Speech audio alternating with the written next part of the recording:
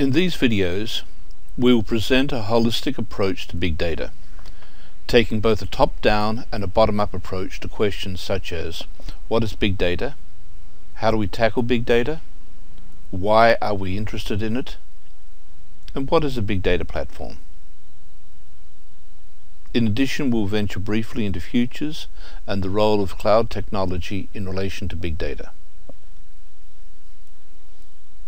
This slide lists the main topics that we will cover. The state of big data adoption, big data, a holistic approach, five high-value big data use cases, technical details of key big data components, the future of big data and cloud, and available resources. The first of these is the current state of big data adoption. For this we will draw upon a report, Analytics, the real-world use of big data in financial services. The IBM Institute for Business Value partnered with the Saïd Business School at the University of Oxford to conduct the 2012 Big Data at Work survey the basis for the research study, surveying 1,144 business and IT professionals in 95 countries, including 124 respondents from the banking and financial services markets, or 11% of the global respondent pool.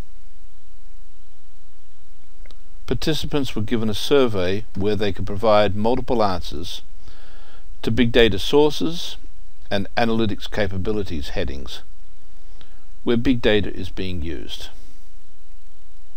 88% of the respondents said they use transactions as their big data source. 73% of the respondents said they use log data as their big data source. Because the respondents could choose more than one answer, these values overlap and thus do not sum to 100%.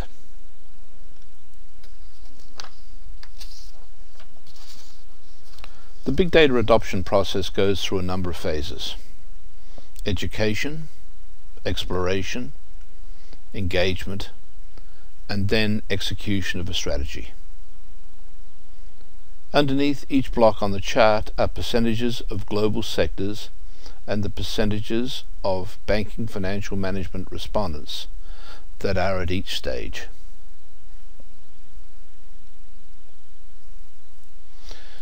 In this chart, the left column shows sources for big data and the right column what to do with it. Transaction data is existing data that customers say is the main source of big data and they want a query report on it. In a relational database management system used for transactions, every time you update, delete, insert and select this information is logged. The business user can analyze this data for business purposes, not just for recovery purposes. Thus, what is this information being used for? The right column in this case shows querying and reporting. The second entry on the left is log data. Walmart is probably the largest company using radio frequency ID technology to allow it to track everything that it has to deal with around the world. This is sensor data that can be helpful to analyze use and inefficiencies. Thus, is it faster to get supply from north of China than south of Vietnam? Social media, Facebook, Twitter, etc., is number five. Lots of buzz around it, but not that yet important in the study. It's not that companies are not working on getting Facebook and Twitter data, but the emphasis is mainly on their existing transaction data, ranked number one, and log data, or machine data, ranked number two. Mainframe machine data is considered to be trusted data, and based on this data from the mainframe, this is the centerpiece of a big data strategy. Also, Still images, video, and audio are not yet important, generally as a big data source. But one should note that clinical data, surveillance data, mobile cameras, etc., are actually around 70 to 80% of unstructured data. Currently, you will see analytics capability in the second column of video anal analytics and voice analytics at the low end of this scale.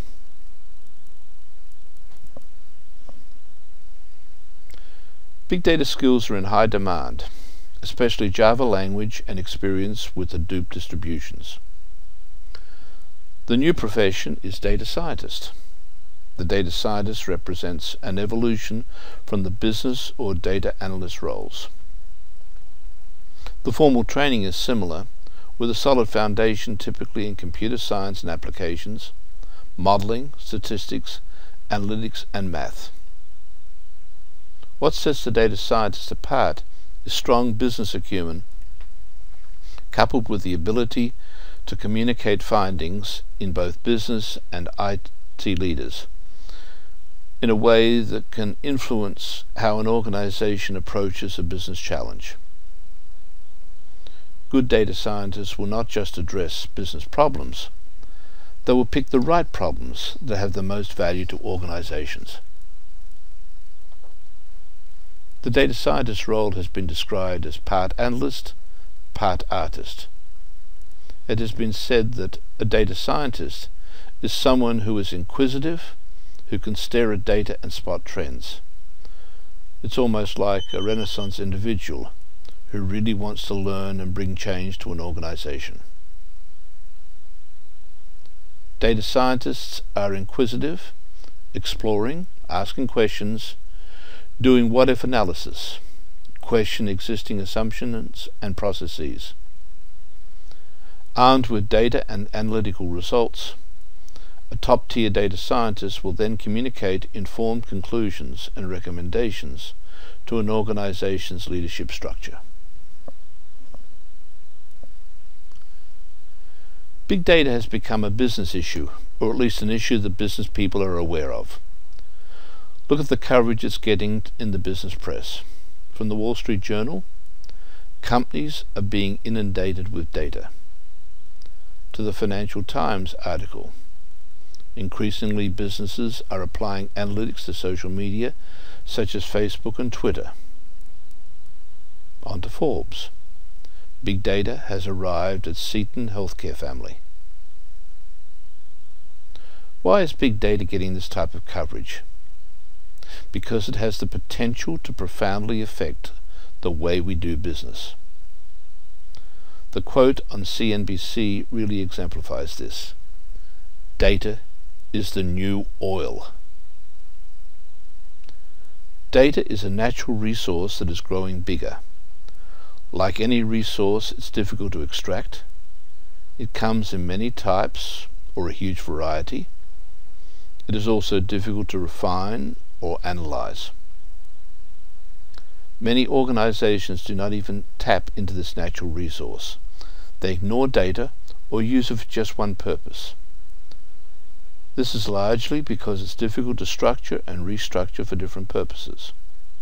But some organizations have cracked the code and they have figured out to process, how to process and analyze data available to them, and they are utilizing it to achieve breakthrough outcomes. If data is a natural resource, what is your company doing to capitalize on it? Here graphically you can see some of the sources of big data.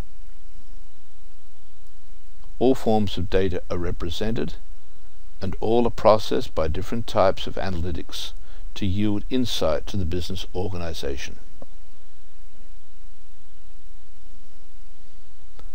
Sensors are one of the biggest contributors of big data, enabling new applications across industries. Examples include telemetrics for auto insurance and vehicle monitoring and service, smart metering for energy and utility organizations, inventory management and asset tra tracking in the retail and manufacturing sectors, and fleet management in logistics and transportation organizations. Applications that rely on sensor-generated data have unique big data requirements to efficiently connect, collect, store and analyze the data to take advantage of its value. Weblog and database log data are major producers of machine-generated data. Let's look at some other examples of sensor and machine-generated data to expand our perspective. There are four engines on the Airbus A380, the double-deck largest commercial airplane in the world. Each A380 engine generates one petabyte of data on a flight, for example, from London to Singapore. The Large Hadron Collider, when operational last year, generated one gigabyte of data every second. A new radio telescope, called the Square Kilometre Array, is currently being built in the Southern Hemisphere. The SKA will produce 20,000 petabytes per day in the year 2020 compared with the current internet volume of 300 petabytes a day.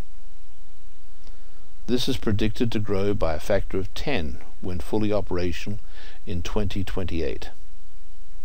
The various data centers to process it will each handle 100 petabytes of data per day. You have now completed this video.